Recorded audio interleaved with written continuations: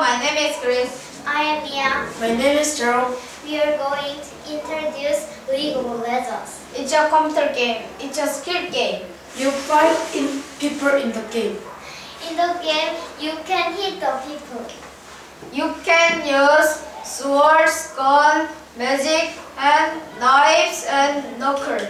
You play a jungle. It's a big jungle. I can win by collecting money, money and items. I play on a team. Team has five players. The game can be easy, normal, or hard. You It, it is a very fun game. you can play PC room and home. I don't play the game. We play the game. Mia, you should play the game. Why? It's a fun game. Good